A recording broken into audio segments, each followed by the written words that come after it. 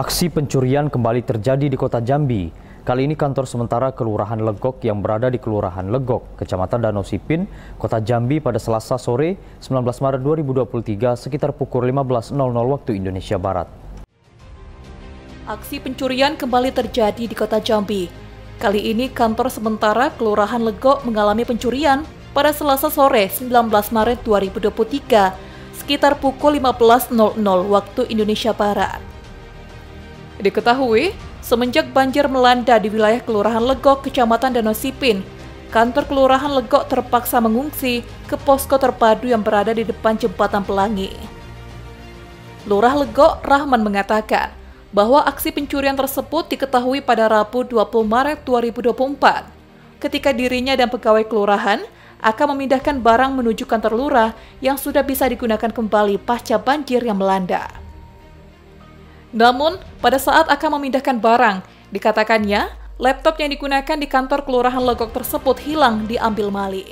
Jadi uh, pagi ini pas kami mau pindah ke kantor lurah, baru ketahuan bahwa kami sudah kehilangan laptop kantor yang kemarin kami masih berkantor di posko terpadu di dekat jembatan Pelangi dan hari ini kami baru bisa masuk ke kantor karena air sudah surut. Uh, untuk ke Danau Sipin dan juga ke Pulau Pandan sudah bisa diakses kendaraan roda 2 dan roda 4 nah jadi uh, kronologis kehilangan itu diperkirakan sore kemarin sekitar jam 3 sore sampai jam 5 sore. Itulah uh, waktu yang jam-jam kosong kantor waktu itu belum dikunci uh, posko terpadu. Hmm.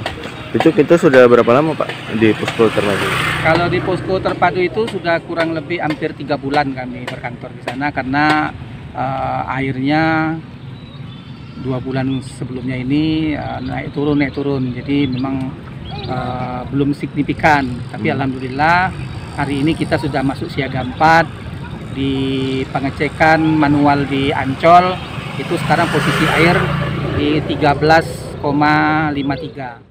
Sandi Cek TV melaporkan.